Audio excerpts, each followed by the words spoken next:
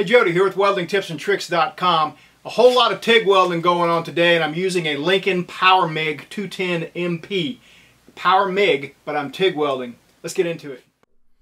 Alright, this is the main project today. It's a base for a bend test fixture for bending straps, bend test specimens, plate and pipe, based on AWS D1.1 dimensions and specifications. So I'm going to need quite a few amps and I set this thing up about 175 amps. But first, before we get into that, let's talk about the machine and what comes with it for just a minute. It's best to think of it as a MIG machine that also stick welds and does lift arc TIG.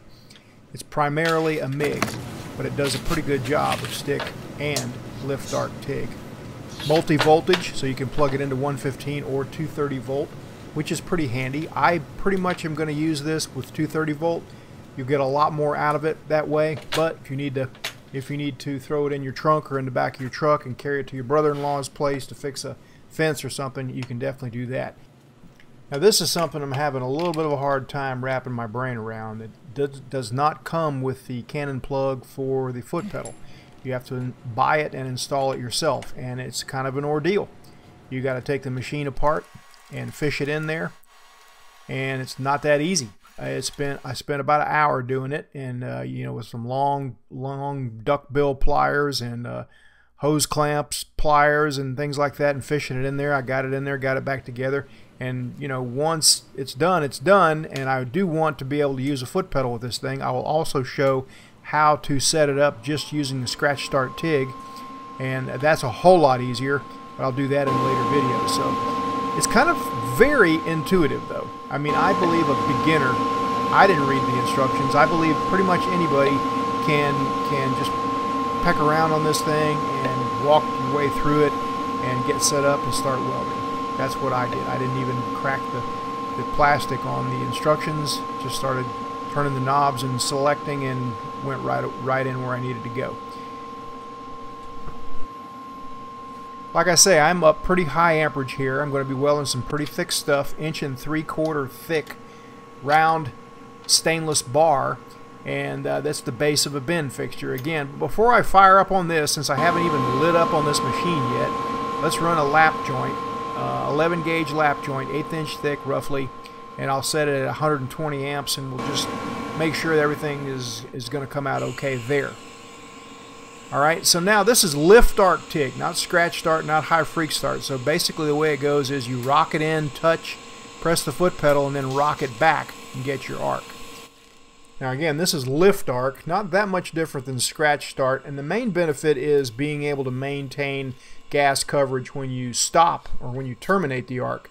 Starting the arc is not even a problem with scratch start. In fact, I will show how to set this machine up using scratch start TIG. Very inexpensive and very easy uh, in another video. But again, this we're doing lift arc TIG here, and I don't like the regular style cup that comes with these big 17 torches. Once you get used to a, a small torch and having spent a lot of years in aviation, aircraft industry, uh, it's really tough to get used to the big setup again. So the stubby gas lens will take an air-cooled 17 and it will shrink it down and provide good gas coverage using the gas lens and make it almost as good as a 9 style uh, cup and you don't have to have a water cooler and you got a nice maneuverable torch with a very low profile and really good gas coverage. So I bring that up not just because I sell these uh, on the Weldmonger store, but I, I just really love them. I just like them a lot better than the than the standard setup. They work a lot better, they feel better, and they get in tighter places. All right, so let's run this lap joint here. Cold rolled steel, cleaned up, wiped, wiped down, cleaned off with a sanding disc, and we're keeping a tight arc. And you know, I'm working around the camera, so I am doing a little bit of shaking here, but you, you get the drift. So terminating the arc, I see this torch has a valve switch on it. There's no solenoid uh, timer post flow on the machine, although I don't really understand why there isn't because there you know is obviously a solenoid valve in the machine for MIG welding but in this uh, this setup you use the the valve on the torch well let's swap up things here a little bit now and we're going to test the uh, ability of this machine to light up on pretty thin stuff. I'm going to leave the 332nd electrode in there, but I'm going to set it up for a 1 16th electrode so that I got a really low start. And we'll see what happens there. It's trying to stick a little bit and you know doesn't have a real crisp start, but I just want to see if it can start up on thin metal without blowing a hole in something. So I got a 25 thousandths thick box cutter blade here and just wanted to see if I could start up on it and run a, run a bead without blowing a hole and not bad. I did have it sharpened up like a needle and I was pretty careful but you got quite a bit of control with the foot pedal.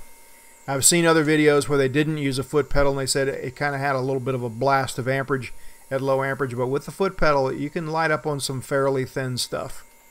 This is not thin stuff here. I'm, I'm cranking it up now. I'm, I'm, I'm lighting it up on inch and three quarter inch thick metal 175 amps and I'm going to be pouring the coal to this little thing just because it's it's gonna it's gonna take a lot of stress. I'm gonna put it on the bottom of a Harbor Freight 20 ton press and I'm gonna bend weld test specimens with it. So it's gonna it's gonna take a beating. You can see I'm just washing the corner of, of that stainless into the weld as well as filler metal. That's the first pass. Then I'll come across with a second pass and that will look something like this. I've got a little bit of a bad torch angle there and that's why it's kind of chewing off and undercutting there at the top of the weld but on the last pass I'll kind of fix that and, and make sure that I'm pushing enough rod in there to eliminate any undercut or anything like that. And so three, total of three passes. Sometimes actually it could have even been four but it's a lot of weld metal a lot of penetration but it's going to take a lot of stress when I'm pounding on bend test specimens.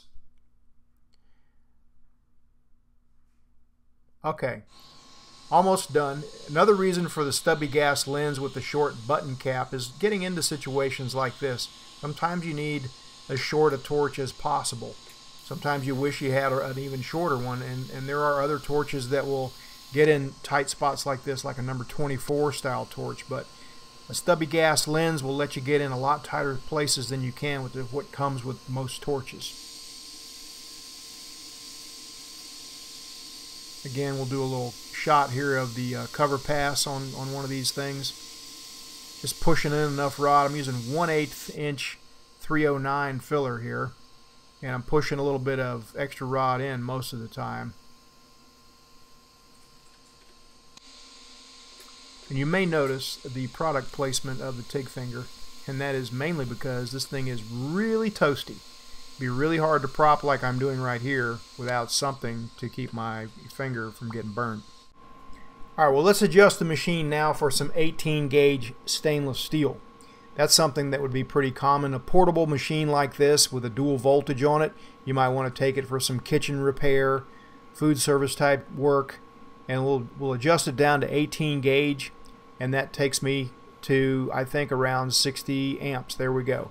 Again, I'm still using a 332nd electrode.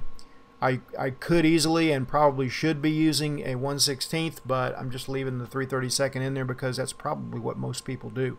332nd is the most versatile, most useful size electrode, I, I think, of all. You can do really thin sheet metal stuff and you can get up, you know, over 200 amps with it too. But I'm using a copper spoon here uh, to hold down this lap joint. You, you don't want any gaps in a lap joint, so you got to have something to clamp it down with. And I usually just take something like this with one hand and tack with the other.